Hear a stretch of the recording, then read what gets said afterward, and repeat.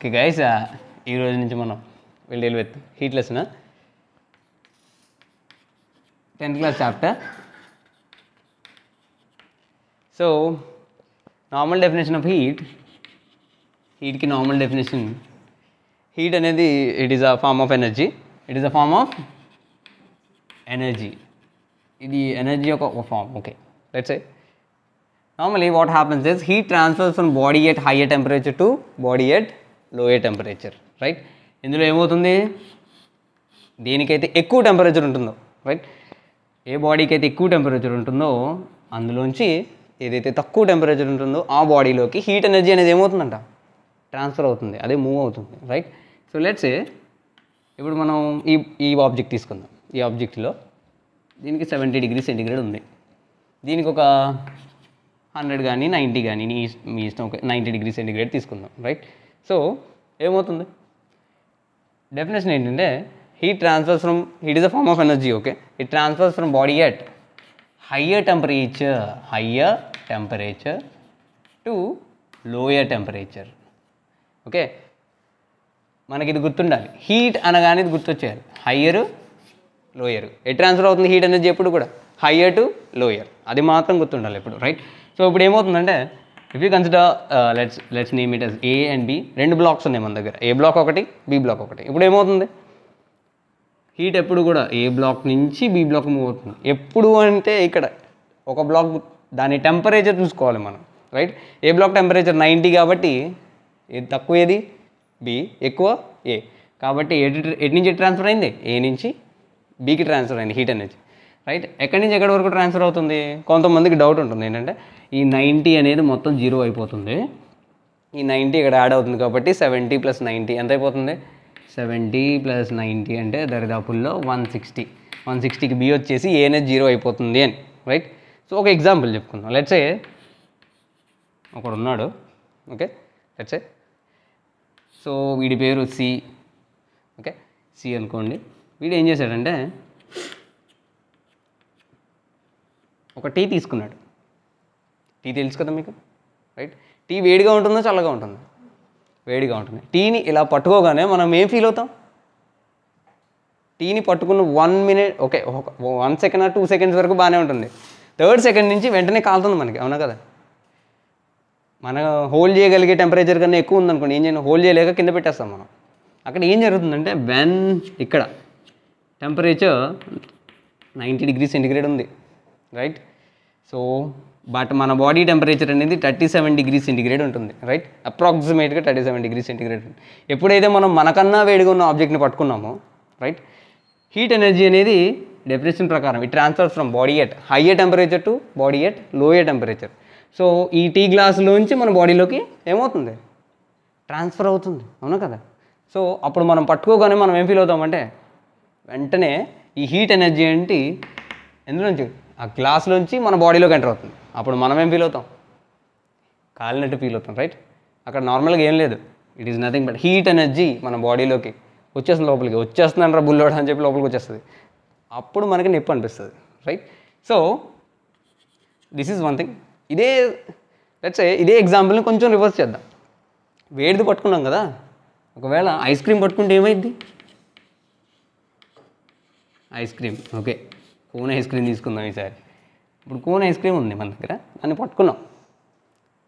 పట్టుకుంటే నువ్వు వదిలేస్తావా? కాలుతుందా నీకు? మరి ఏమవుతుంది? కరిగిపోతుంది రైట్? ఎందుకు కరుగుతుంది? నార్మల్గా ఐస్ క్రీమ్ అనేది ఒక ఫైవ్ డిగ్రీ సెంటిగ్రేడ్ లేదా minus two or minus three maybe ఉండొచ్చు కూడా. ఓకే? అంత కూల్గా ఉన్నవి కూడా ఉంటాయి మ్యాక్సిమం ఓకే? సో నార్మల్గా జీరో ఆ రేంజ్లో ఉన్నవి మ్యాక్సిమం లిక్విడ్ స్టేట్లోకి వచ్చాయి. జీరోలో కూడా గడ్డ కట్టే ఉంటుంది. తప్పలేదు. బట్ ఇక్కడ ఏమవుతుందంటే మనం పట్టుకుని ఉన్నాం కదా. పట్టుకున్న వెంటనే మన body temperature thirty seven degree centigrade. But ఈ ఐస్ క్రీమ్ టెంపరేచర్ ఎంత? మైనస్ టెంపరేచర్ కానీ తక్కువ టెంపరేచర్ మన తక్కువ పోల్చుకుంటే అప్పుడు ఏమవుతుంది? హీట్ ఎనర్జీ ఎటు నుంచి ఎటు ఫ్లో అవుతుంది ఇప్పుడు? మన బాడీలోంచి ఐస్ క్రీమ్లోకి ఫ్లో అవుతుంది. వెంటనే ఏమవుతుంది? ఐస్ క్రీమ్ కొద్దిసేపటికి కరిగిపోద్ది రైట్? సో కరిగిపోయిందని వెంటనే ఏం చేయాలి? తినేయాలి. లేకపోతే వేస్ట్ అయిపోద్ది రైట్?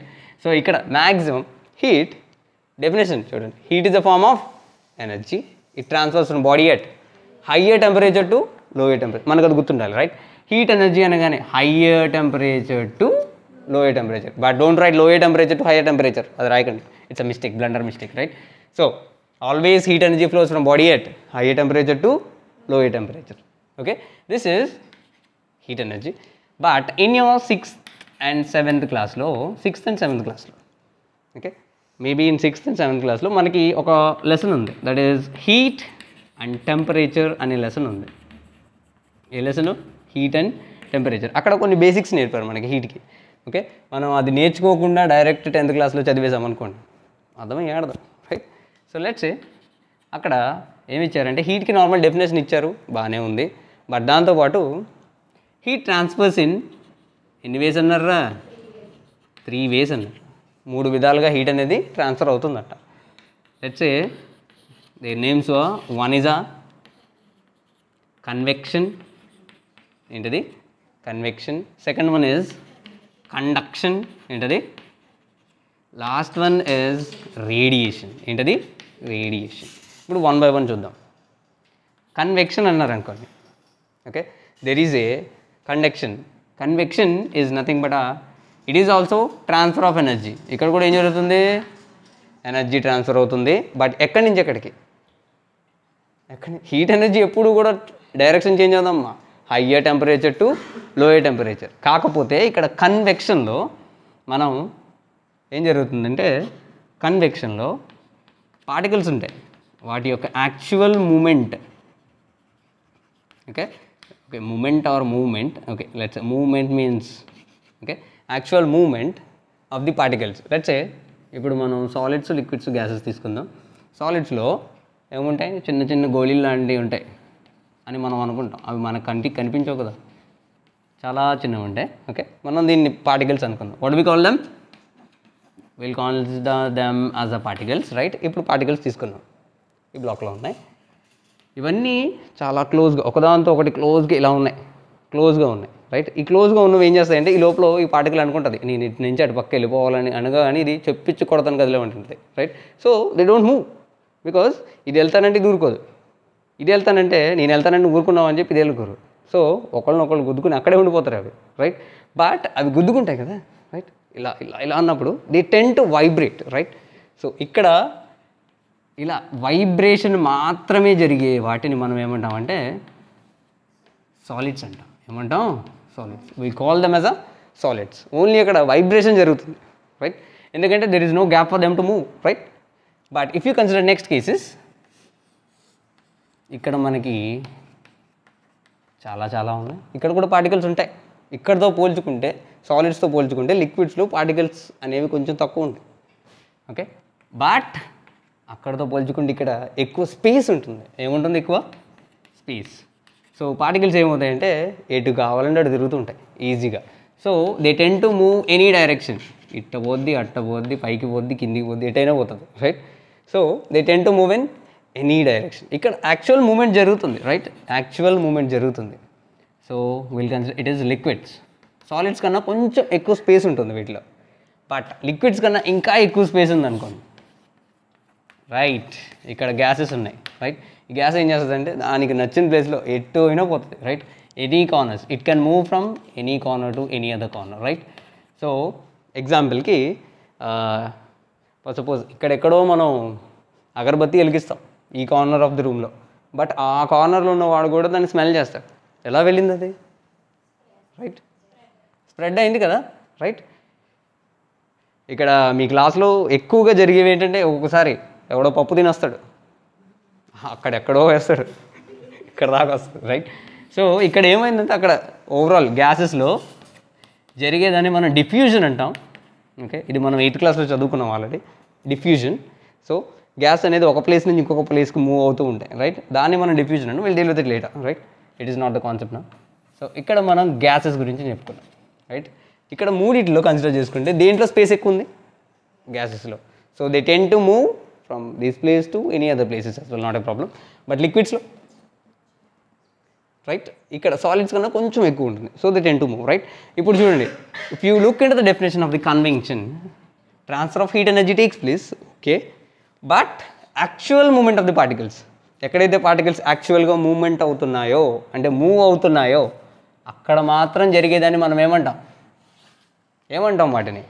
కన్వెక్షన్ అంటాం. యాక్చువల్ మూమెంట్ జరిగితే convection right conduction quite opposite to this ఇక్కడ యాక్చువల్ మూమెంట్ జరిగింది. ఇక్కడ మూమెంట్ జరగదు.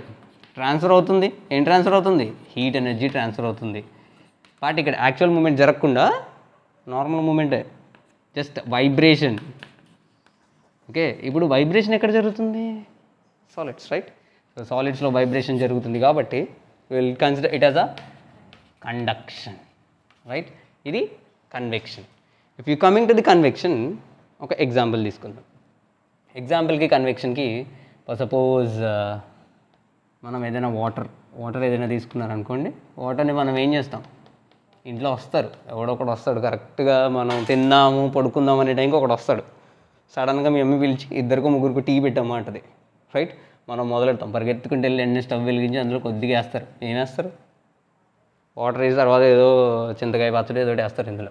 రైట్ ఎప్పుడైతే దీన్ని వేడి చేస్తారు. కొద్దిసేపటికి మీరు అబ్జర్వ్ చేస్తారు right you tend to observe something that is after some time కొద్దిసేపటి తర్వాత చిన్న చిన్న బబుల్స్ బబుల్స్ వస్తూ ఉంటాయి రైట్ బబుల్స్ వస్తున్నాయని చెప్పి ఊదకండి పేలుతాయి.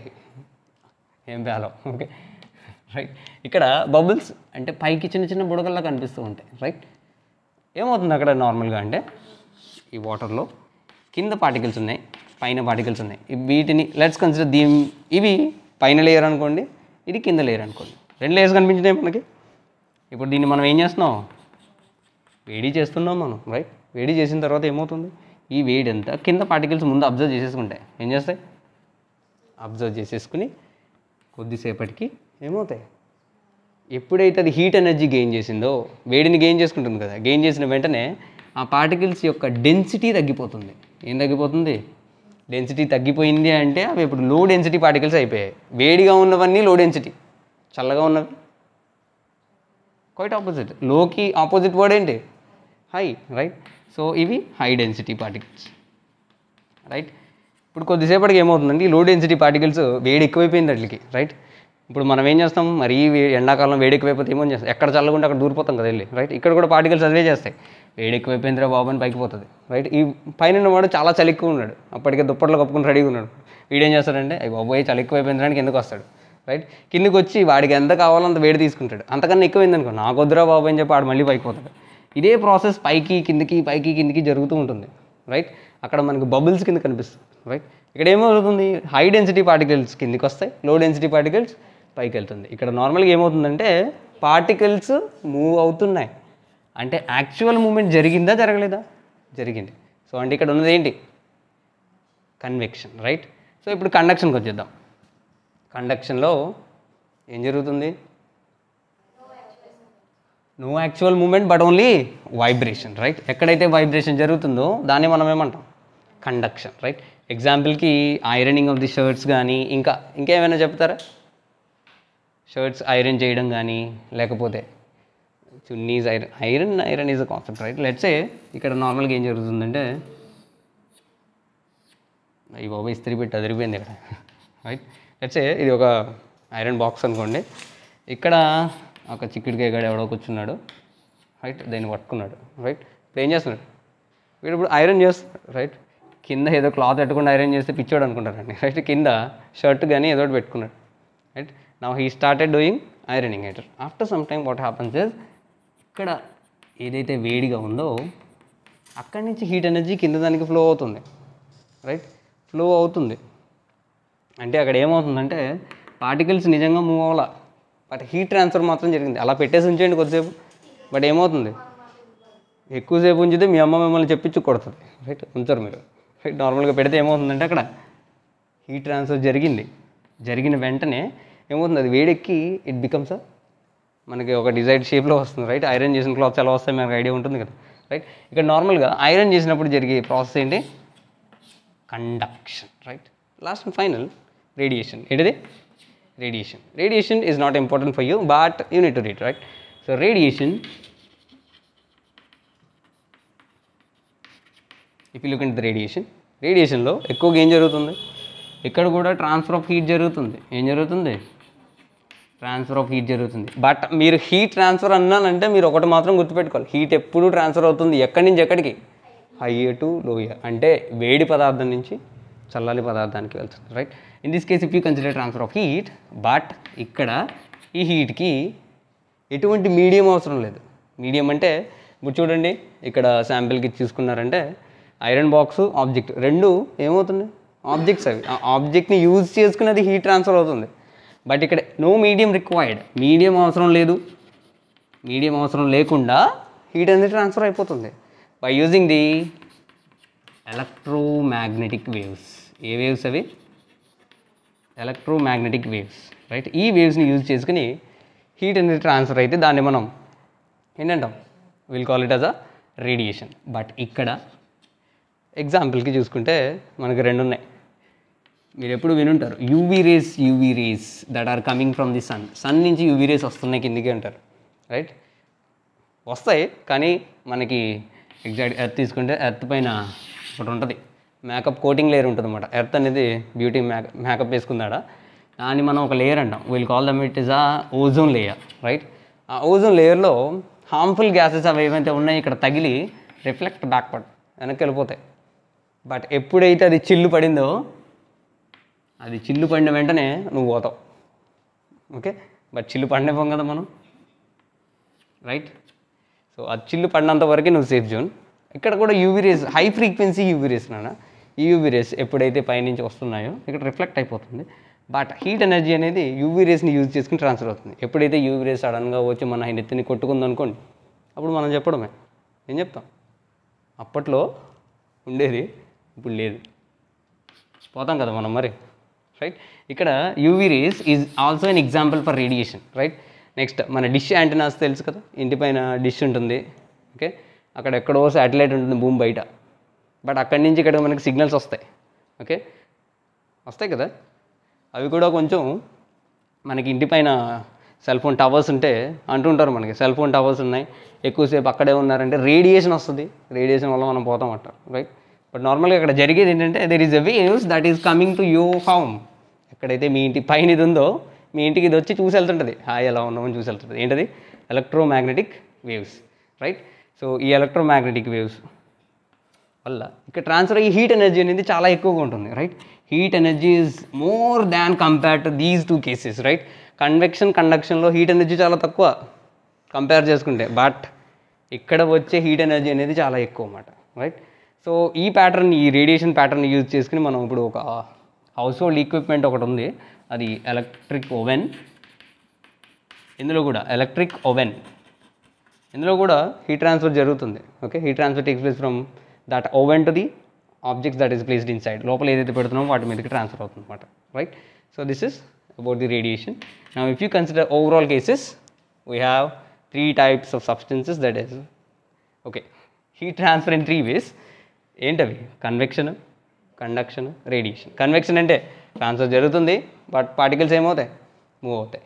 అండ్ సెకండ్ కేస్ కండక్షన్లో ట్రాన్స్ఫర్ జరుగుతుంది పార్టికల్స్ మూవ్ అవు and in third case we have radiation ఈ రేడియేషన్లో అసలు మీడియం ఏమి ఉండదు. బట్ హీట్ ఎనర్జీ మూవ్ అవుతుంది. Okay that's it thank you